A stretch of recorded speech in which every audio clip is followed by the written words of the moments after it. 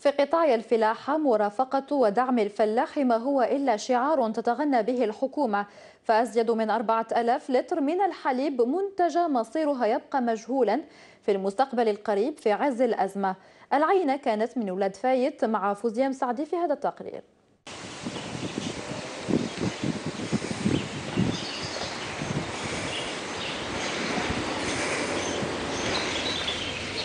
وسط زقزقة هذه العصافير وخرير هذه المياه وخوار البقر وعكس الآلاف من الجزائريين اختار عمي عبد القادر رسم محيط عيشه لكسب قوت أولاده.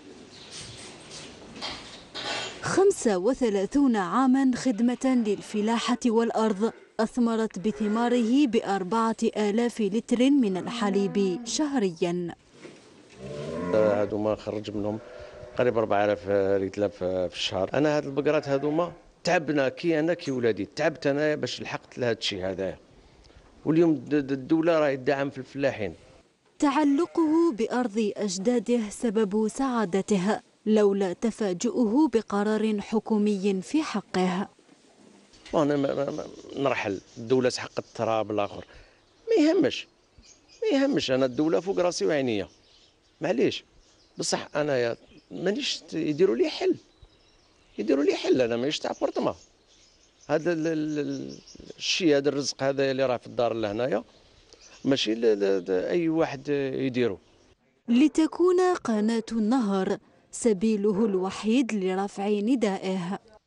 دوك هذيك أنا باش نشوف مسؤول كيفاش راح نشوفه أنا الحمد لله كاين الحل ديالي اللي صبته تسمى قناة النهار هي هي اللي توصلني لهذ المسؤولين هذوما ما كاش أنا الحل ديالها أنا. مانيش من هذوك العباد.